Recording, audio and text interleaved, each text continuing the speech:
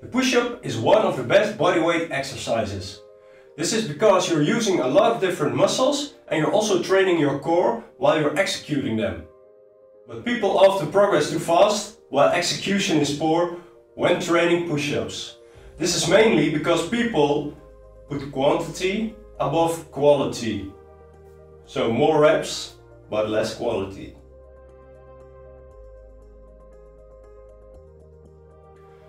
Starting with push-ups doesn't have to be hard. You just have to try a new approach in learning how to do a perfect push-up. This new approach will have you executing perfect push-ups in no time. Just have a little patience. Learning new skills takes time and your body and muscles also need time to adjust and get used to this new way of exercising. When you think you've already mastered the push-up, but executing it with poor form, going back to the basics and relearning the push-up can be hard.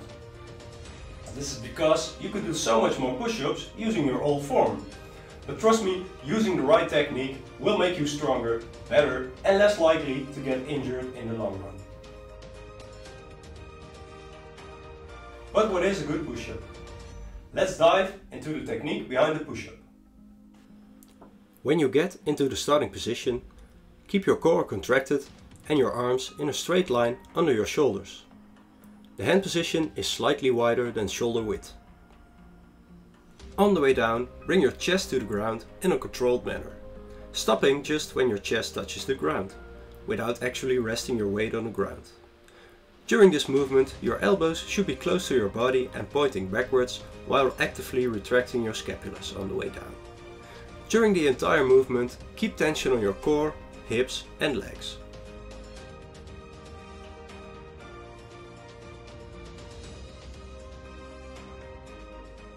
On the way up, keep holding the same tension in your core, hips and legs. Push up from the ground with your elbows still close to your body, pointed backwards.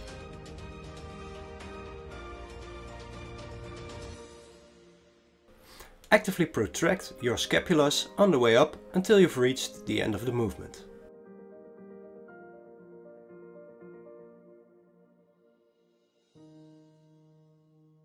Always use full range of motion because you want to train every part of your muscle and that can only be achieved by using a full range of motion. This is harder in the beginning but definitely more rewarding in the long run.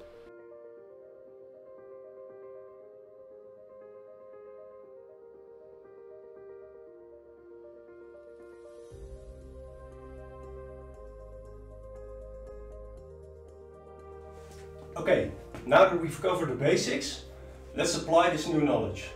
So, what's this new approach, you ask? Well, if you've ever done push-ups, you probably were challenged to do as many push-ups as you can in one set, or you were asked to just perform 10 push-ups in one set. My approach switches this around.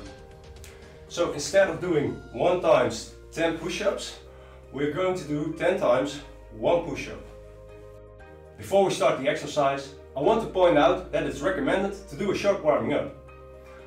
I'll put a link to some of my videos up here somewhere and they're just 10 minutes and they're super effective. So, back to the exercise. Let's do one push-up, rest a little, you can use a timer for 20 seconds and then do just one push-up again. We're going to repeat this until we've done 10 total, executing every push-up to the best of our ability. We're using proper form, proper technique, we're keeping our core contracted, we're using the full range of motion, we're keeping our elbows pointed backwards. Let's go.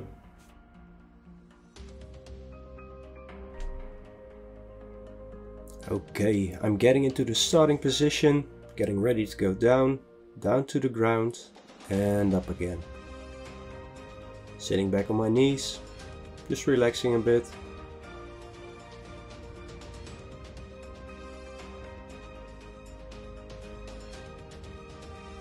And when I'm feeling ready, I'm starting the next push-up. Starting position, the way down, and the way up. Like on my knees, and resting again. Probably the easiest way of doing is is setting a timer for 20 or 30 seconds with a bell. When the bell rings, you'll do one push-up and the rest of the time is rest. Then the bell rings again and you go again.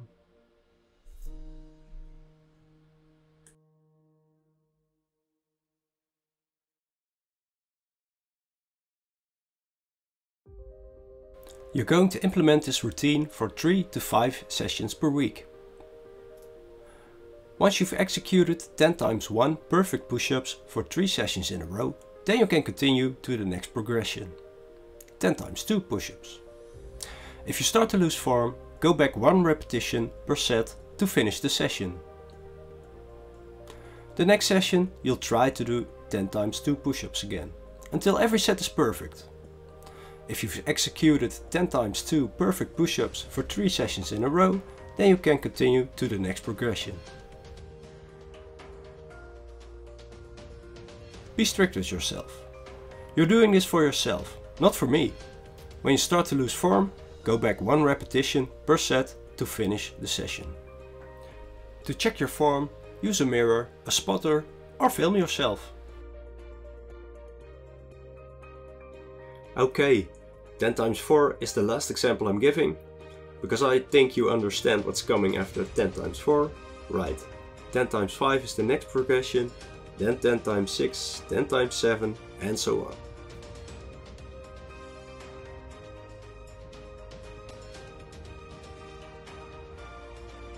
Well, I hear you guys thinking, what if you can already execute 10 sets or of 3 or 4 or 5 perfect push-ups?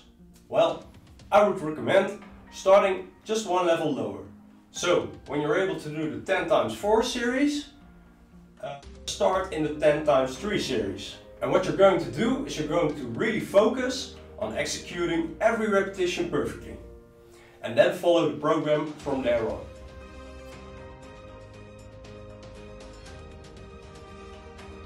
Once you hit 10 times 10 perfect push-ups, you can start to challenge yourself to bigger sets, like 8 times 12 or 7 times 14. And you can start to test your max reps in one set. But remember, quality over quantity, so always go for the perfect form. Well, that's it for this video.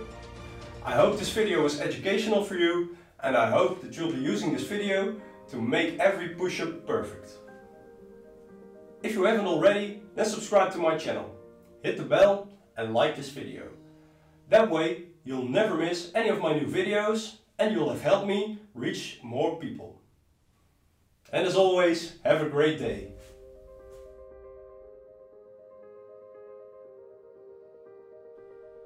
For the people who are not able to do a normal push-up, these two clips contain easier variations using a platform. This is a simple chair and the same rules apply as doing a push-up on the ground.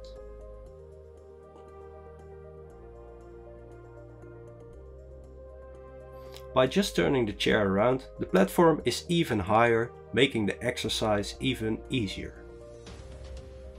Progress from these variations until you can do a push-up from the ground. Good luck!